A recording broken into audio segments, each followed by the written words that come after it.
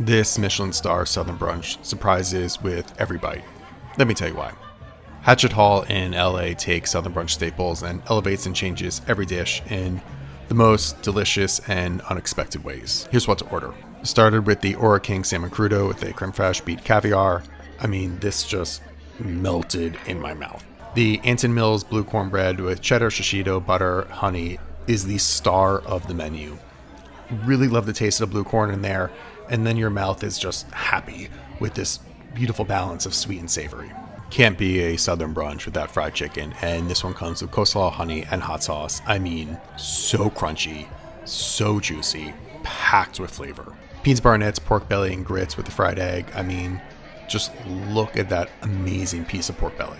Buttermilk biscuits and sausage and gravy black pepper is obviously a southern classic. I mean, the chilaquiles, uh, the scrambled eggs, pickled chilies, queso fresco, and guac